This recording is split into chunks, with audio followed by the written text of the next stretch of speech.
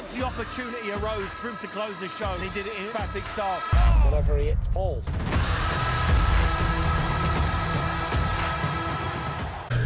Well, I, I did tell you, even though we had some some bumps, I told you that that Taylor and Regis would happen, and I told you that Regis was willing to go to England if, if that's what was called for. You did say that. You, you literally just said that just as I pushed record there, so I'll do my intro and we'll just keep that in. That's Yeah, how we yeah, do it. We're on, I, Andy McCart, IFL TV, this was your MTK Global.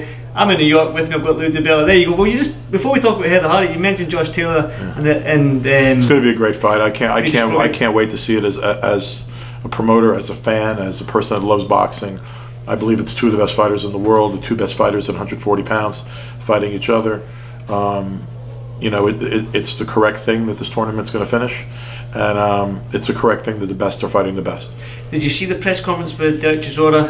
They Yeah, he, he, you do you think that Derek, Derek's uh, always a ball of laughs. He's a gift that keeps on giving at press conferences. But uh, I thought Regis did a pretty good job getting in his grill. Uh, he certainly did. You know, and and and, uh, and look, it's fine. It's going to be a terrific show. Um, but I think Derek's missing the point of just how many people across the globe want to see these two men fight.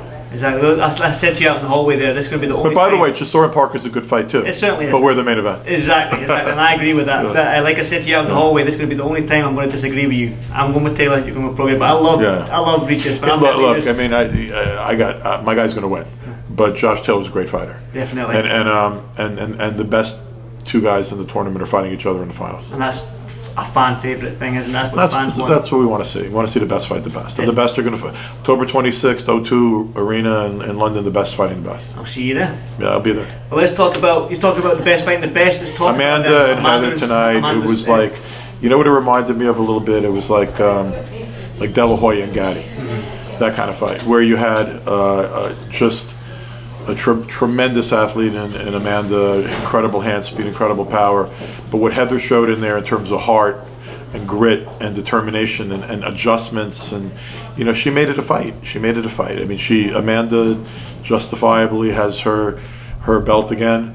Um, and, and, and she's the champion again, and, and Amanda is the girl that everyone talks about in the pound for pound discussions. But Heather Hardy is a bigger star in my mind coming out of this fight than she was going in.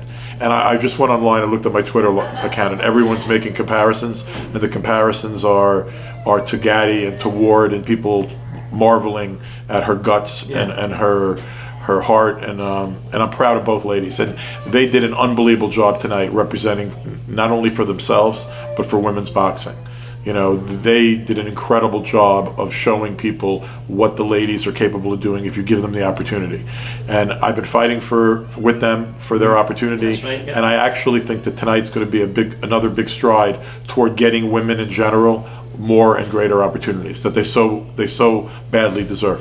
You made a passionate speech. It was only I clipped it for IFL, so you made it was six minutes long. You actually talked for, but in that speech you talked about equality for women's boxing. You said they might not get equality, but give them. Fairness. I just want fairness. Yeah. I mean, equality's equality's not happening, but but they deserve better opportunity. They deserve fairer wage.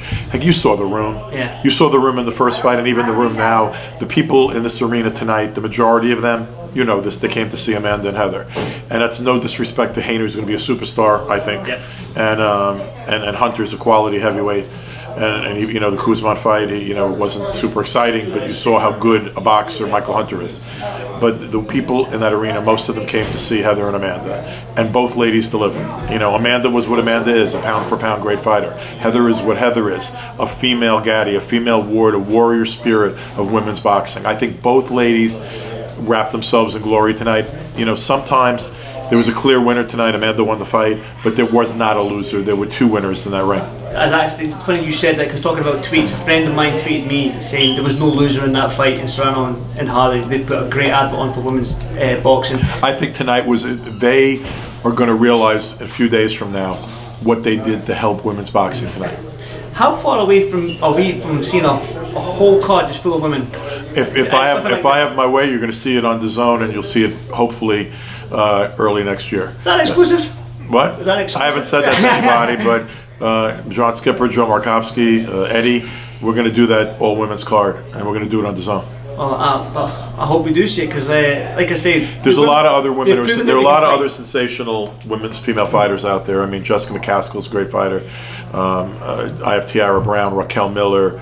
Uh, Alicia Napoleon, who's a, another world champion, is a, you know uh, has an entire package, the same kind of thing. A, attractive, smart, well-spoken, big punching power, great athlete, like a Wonder Woman Yeah. in, in the ring. Um, you know, Katie the- Taylor Island, Katie Irish Taylor is Katie Taylor is a Yeah. great, great fighter. Look, Katie Taylor and Amanda Serrano is a female super fight. That's a super fight. Well, that- that's that's similar to what you would have if you had Claressa and, and, and Cecilia Yeah. in, in a ring. Uh, You, you're talking about, you know, on a, well, actually, if Claressa fought Cecilia and uh, Amanda fights Katie, the four best women in the world would be fighting one another. Yeah. Um, you know, in, in inappropriate weight classes. I, I'd love to see that kind of thing. You know, we, we, women's boxing has not been this strong in my lifetime. This is the strongest that women's boxing's been in my lifetime, and I'm really happy when I see a Claressa stand up and take care of business with a Christina Hammer, Mm-hmm. and Katie.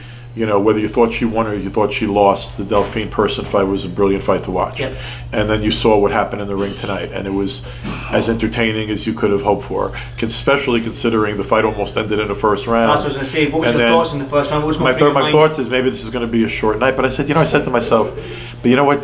I know, I know Heather. She's so tough. I was like, if she doesn't go down, I actually said to my, I turned around to my to Eric B, who was sitting next to me, the great, the whole great rapper Eric B and Rakim fame. Eric was sitting next to me, and Eric said the same thing. Eric said, I have a feeling that this is going to become a better fight, like pretty quickly. Like, uh, you know, if she weathers the storm the first three rounds, it's going to be a, a real fight. And I thought to myself too that if Heather got through that round and the round that followed, that we were going to have a really fun night, and it was. It was a really fun fight. It was a great, with that, yeah. great fight that really will be remembered. I think remembered if, if women's boxing is going to continue to grow and get bigger, people are going to look back and they're going to remember this fight. Well, what's next for Heather then? I mean, she's, this is her first. A little bit of time off Yep. has been next for Heather. This was a you know she she had to do work really really hard to get herself into this fight. Uh, it was a tough tough fight. It went the distance. A little time off, and then Heather's going to win a world title again. Yeah, I, I, I said to her that she said to me that she's got Scottish blood in her, so I think that's where she gets her, that's where she gets her toughness Uh, from. So, there you go. As always, Lou. Hey, I love the Scots. yeah, thank you very much. As always. Except like the October 26th, I'm not going to love the Scots not so gonna like me or much. Till after the fight. After the fight. Thank you very much, Lou. Thank you.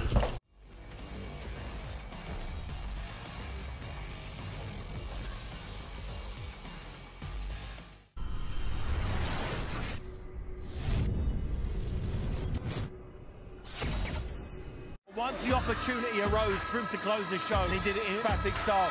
Whatever he hits falls.